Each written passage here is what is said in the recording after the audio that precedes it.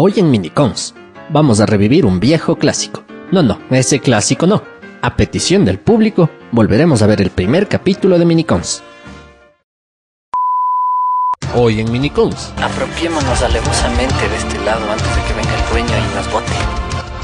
tendremos bicicletas, niños, gatos, botes y hasta... Una sopa marinera. No te lo puedes perder. Si tienes tu bici dañada, prepárate, porque le vamos a convertir en barco. Esto es Minicons de fin de año. Minicons. Jóvenes como tú, yo, él, nosotros, vosotros y ellos, excepto el año que termina, que experimentan con ciencia y tecnología, utilizando lo que puedes encontrar en tu casa. ¿Quieres saber cómo hacer diablillos, camaretas y silbadores? Aquí no te lo mostraremos. Ya se acabó el 2008. Yo no lo creo. ¿Tú lo crees, Daniel? ¿Y tú, Pancho? No, yo tampoco. Y que siga el reventón.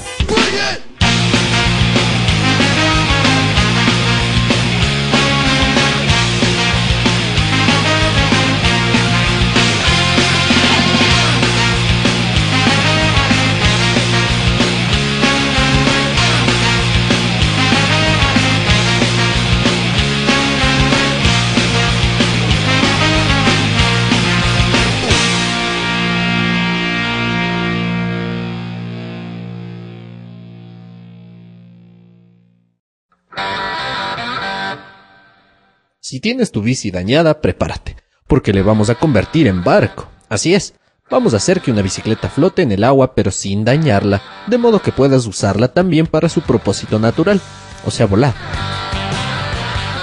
Lo primero es conseguir una bici. En nuestro caso ya encontramos víctimas. Uy, la bicicleta, ¿verdad? Este... Bueno, yo tengo un primito, ¿no? Pero bueno, él, él no sabe que la bicicleta de él es la que estamos usando, por suerte. Bueno, como ya creció, es como que no importa. Creo. Al parecer el gato no está muy de acuerdo, y debe ser porque estamos desarmando la bicicleta para poder llevarla a nuestro taller. Así es, no tenemos carro. Sus donaciones al número que aparece en pantalla.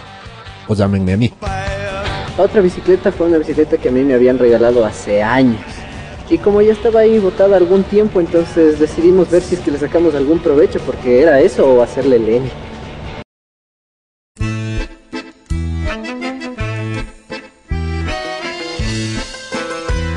Y como por lo general estamos chiros, viajamos en nuestro exclusivo transporte público. Bucetazo es todo. Siga y al fondo entran 20. Viajar con una bicicleta a cuestas podría ser beneficioso, especialmente para el bolsillo, pero deben encontrar a alguien tan fuerte como Steffi. ¿Para qué más?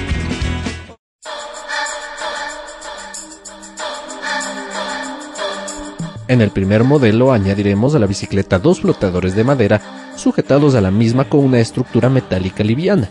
Para la propulsión acoplaremos aletas en la rueda posterior y una aleta a manera de timón en la parte frontal. Aquí se ve el detalle de la propulsión y de la dirección.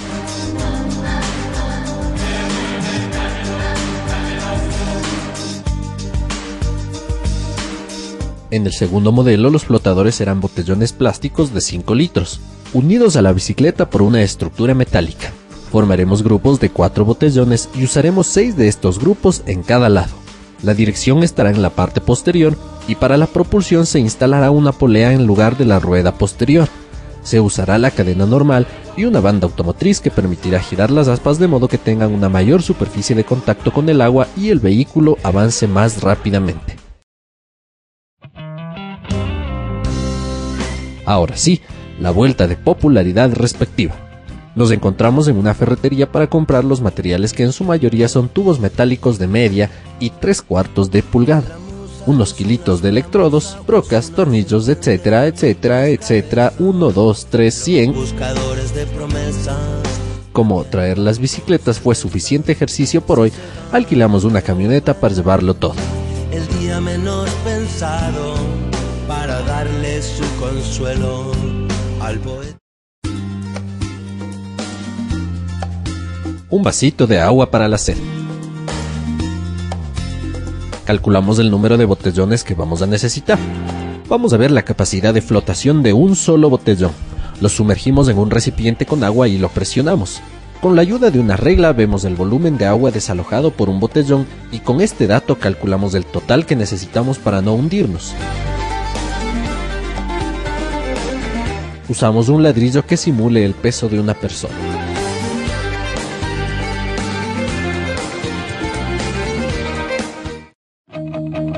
Solo jugando.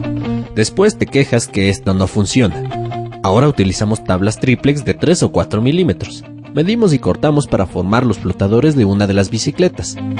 Cortamos vigas de eucalipto para formar una estructura más adelante. Terminado el trabajo, cargará la guardaespaldas del grupo. Ya vamos una mañana y Steffi sigue cortando la misma viga de eucalipto.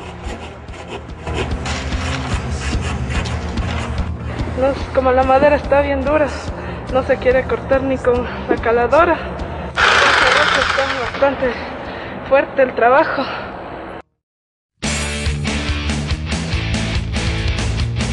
Para el cuarto día, seguimos trabajando con la madera de eucalipto que es muy rígida y como se puede observar está tomando mucho tiempo y trabajo armar una estructura. Tratamos por todos los medios de unir las piezas. Incluso llamamos al señor de los martillos Marlon para que nos enseñe sus técnicas, pero nada de esto funciona. La madera de eucalipto es bastante dura, las piezas quedaban chuecas y a mí la verdad no me simpatizaba nada el aspecto de, de esas piezas. Me enojé bastantísimo porque estaba todo chueco, estaba todo mal clavado y no me gustaba.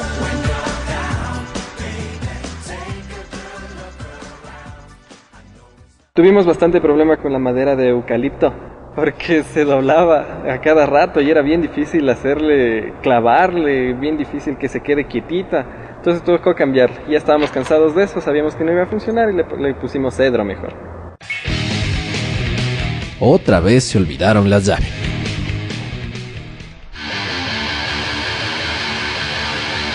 La maquinabilidad del cedro es evidentemente mayor. Ya están casi listos los cuatro cuadros para los flotadores.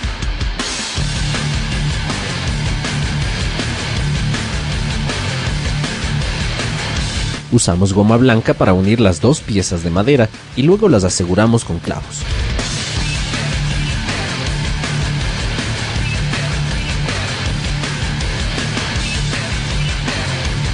Probamos la resistencia de los cuadros de madera y parece que aguantan. Debe ser por Dogchow.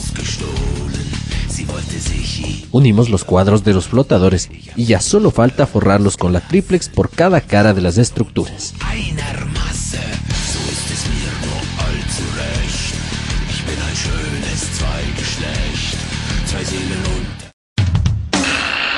Ahorita estoy tratando de hacer más grande el orificio por donde va a entrar el eje.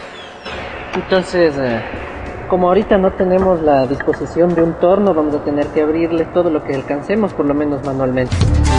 Entonces este va a estar unido a la manzana del ventilador, que también tenemos que trabajar con ese ventilador por allá, trabajando de tal manera que podamos ponerle unas aletas más grandes para facilitar el empuje. Así es, esta es la pieza que alojará al ventilador para la propulsión. Así que bueno, esta que era una, parte de las piezas más graves que había que todavía quedan por construir, ya la tenemos ya. Siente el viento, soplador.